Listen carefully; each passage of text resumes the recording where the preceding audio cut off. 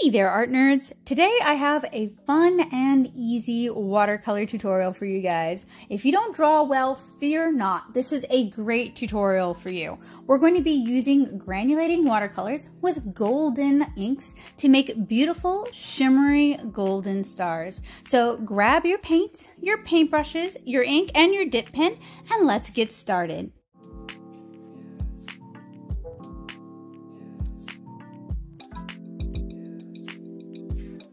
These are the materials you'll need to paint along with me. A piece of Coroplast or Gator board, MT's white washi tape, Winsor Newton's gold ink, Sennelier or any other French aquamarine, Winsor Newton Smalt Blue, and Soho's Urban Blue Violet, a scrap of Stonehenge Aqua cold press watercolor paper, something to paint on like a palette, so I have a ceramic dish here, a dip pen with the nib of your choice, I'm using a caged G nib, and a selection of brushes. I have here some silver black velvet watercolor brushes. You're also going to need a paper towel. So the first thing I'm going to do is I'm going to secure my watercolor paper to my support, which would be the Coroplast or Gator board. And that's what I'm using the MT white washi tape for.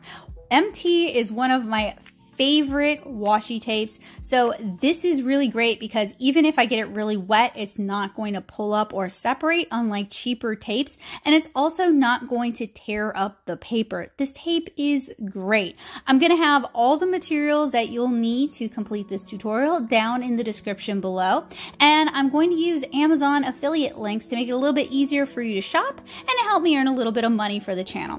So I have my watercolors here. I'm working from tube today. I'm using Sennelier French Ultramarine. I'm using Winsor & Newton Smalt Blue, and I'm using Soho's Urban Blue Violet. Two of these colors have a lot of granulation, so I wanted to go for sort of warm blue colors that have differing amounts of staining and granulation. So our French Ultramarine is a traditionally fairly granulating color.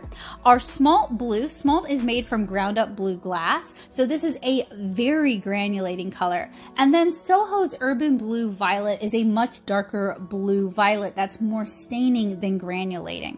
So I'm starting by wetting my paper with some clean water. I'm using filtered water here because I live in an area that has a lot of minerals in the water and I don't want to have to calculate that or keep that into consideration when I'm painting. I'm also going to elevate the top of my painting surface just a little bit so that we can get our paint and our water to run down the canvas. So I'm starting with my French ultramarine and I'm doing kind of a lazy, sloppy gradiated wash and blending it out at the bottom. I want to use a lot of water with this because I want to encourage it to granulate as much as possible. So the two cool points about this tutorial are going to be the granulation in our warm blues and the gold accents that we're going to add a little bit later on. So I am dabbing my French ultramarine blue on really loosely into this very wet watercolor paper. We're gonna get a lot of runs and that is fine. That's exactly what we want. And I'm trying to create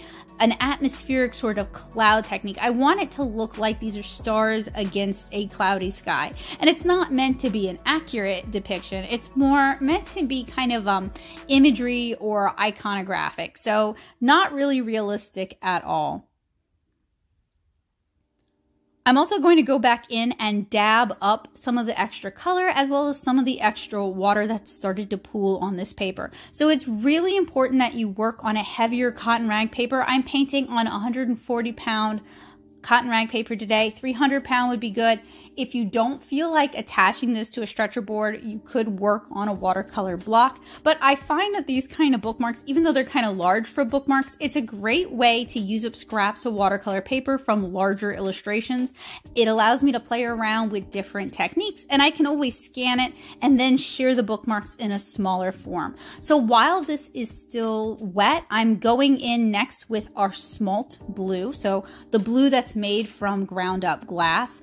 And this is going to granulate a little bit more than our French ultramarine. So we're going to get some really nice differing granulations with this.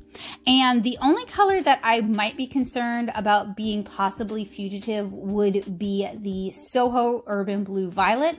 Soho is a line that used to be carried by Jerry's Artarama. They don't carry it anymore. And uh, so basically any really good blue violet, dark blue violet would work well for this.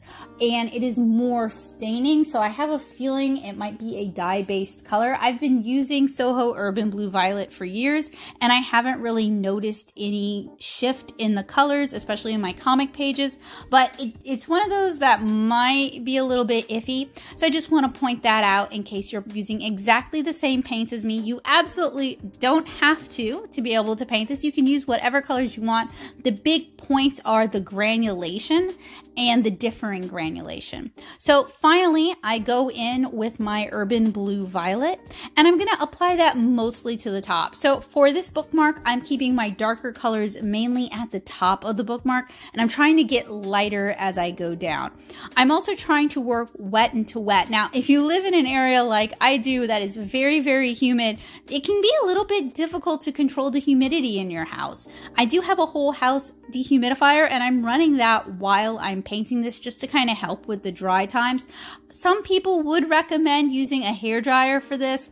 I've had negative experiences using a hair dryer with my watercolor illustrations, although probably in this instance it wouldn't have those same negative effects. It's typically when I'm using masking fluid, it tends to make the masking fluid permanently fused to the paper, but we're not using masking fluid today. So if you want to pull out your hair dryer and set it to cool, you could probably do that. But what I end up doing is I end up setting this bookmark in the same room where the dehumidifier is. So my laundry room when it's not running laundry, and that's going to also help it dry a little bit quicker. So I'm just kind of like noodling around with it now, adding in some clean water so that I get these kind of color blooms. I really want to encourage granulation and I really want to encourage the colors to kind of have bands. I want to be able to see a cloud-like effect with the watercolors. So I'm kind of just using my own discretion, adding water or color here and there, and then using a thirsty brush to kind of pick up the excess water so it doesn't puddle too much on the paper. If you find that you've added too much color or too much water, you can always blot it back out using a clean paper towel. I like to use Viva paper towels for this because you can get the kind that don't have much of a distinct surface texture and don't have any printing on them. And I find that that just works better for lifting things back up with watercolor because it's not going to leave a texture. Of course, if you want that texture, you can definitely get the kind that have a texture on them and that can add a fun surface design to your watercolor art and illustrations. At this point, it's basically up to your discretion what you like and what you feel looks good. If you want to add in some additional colors, you can, but there's something about the warm blues and the gold that just feels so rich. I think it's because there's a rich tradition of gold and those kind of ultramarine blues being used in religious paintings to denote that kind of divinity and richness that works so well here. So, hey, if you have something that works, why try to fix it? So, at this point, it's up to your discretion. You can kind of noodle around with it and adjust it as you see fit.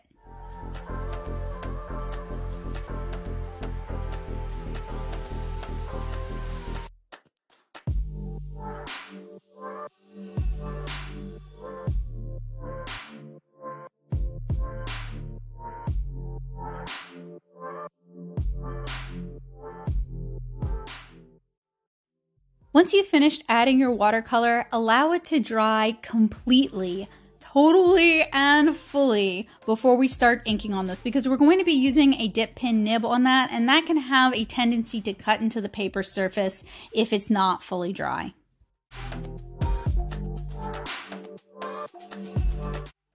So here we have our dried watercolor bookmark. It's now time for step two. So I'm going to be using a dip pen and Winsor & Newton's gold ink for this. What I like about Winsor & Newton's gold ink is that it actually contains flecks of bronze. So it looks really, really rich and metallic. And I've decanted a little bit of it into a smaller glass container like a dinky dip. It's going to make it easier for me to ink it. So this is the basic star shape we're going to be using, kind of like a Shoujo Sparkle.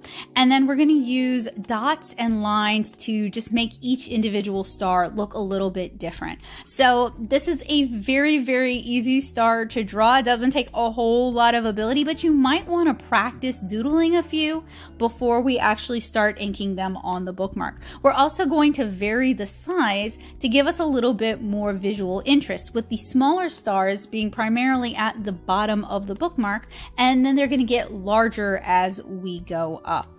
So a dip pen with a cage nib means it has a spring welded onto the back and it gives it a larger ink capacity. So I'm not going to need to dip nearly as often. But one of the sort of problems with this ink is that those beautiful metallic sparkles do have a tendency to fall out of solution very quickly. So you're going to need to recap whatever you are decanting it into and shake it frequently for most sparkle effect. Another kind of issue with dip pens pins is they deposit a lot of ink onto the paper. So the dry times are going to be a little bit longer. So you just want to be kind of patient as you're doing this. Put on some chill music, relax, and give it plenty of time to dry.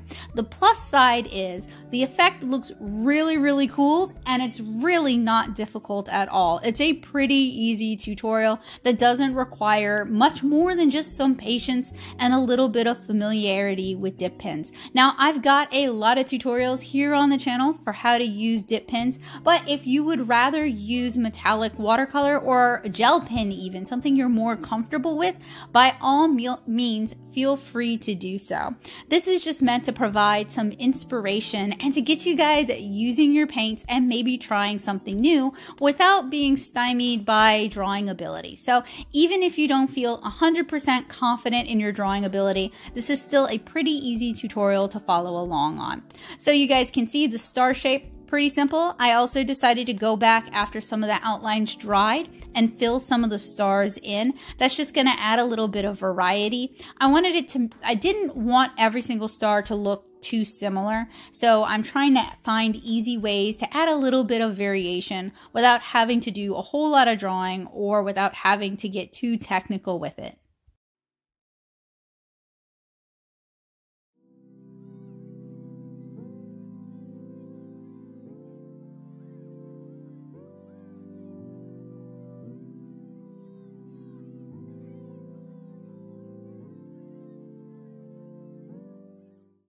You guys can see how beautiful that metallic ink looks against that rich granulating blue.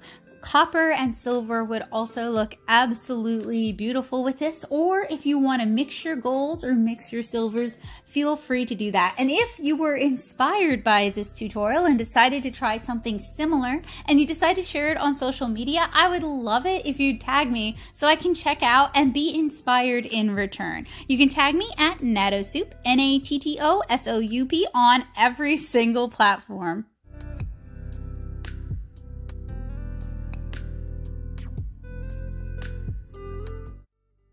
As I'm working, I also stop and take stock of what I've done and use that as an opportunity to think about where I might want to add some more itty bitty little stars to get the effect that I'm really looking for.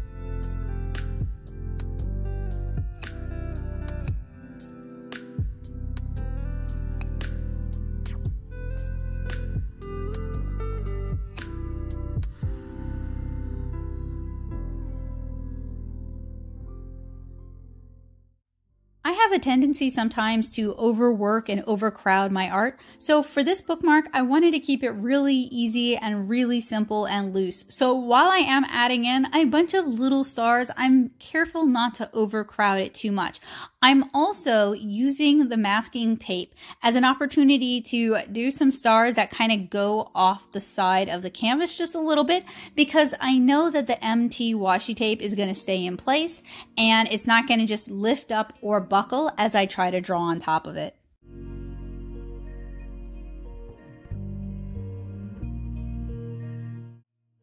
Now we have our beautiful glittering golden stars. I want to make sure this dries completely before I remove the masking fluid. And you guys can see those metallic particles settling out of the water. So once it dries completely, I am removing my masking fluid or masking tape, sorry, by pulling away at a 90 degree angle so that if it were to tear, it would rip the paper rather than ripping into the illustration. And there we have it, our completed watercolor bookmark. I've got some ideas for some other fun, easy watercolor bookmark tutorials that'll teach techniques that you guys can use either to make bookmarks or to make postcards or to use in your full scale illustrations. My goal is to empower and inspire you to use the art supplies that you already have to make satisfyingly simple yet beautiful little pieces of art because it's really important to me to help you guys make art a habit. Thank you guys so much for watching. If you've got any suggestions, let me know down in the comments below and have a wonderful day, guys. Huge thanks to my amazing patrons on Patreon for their help and support.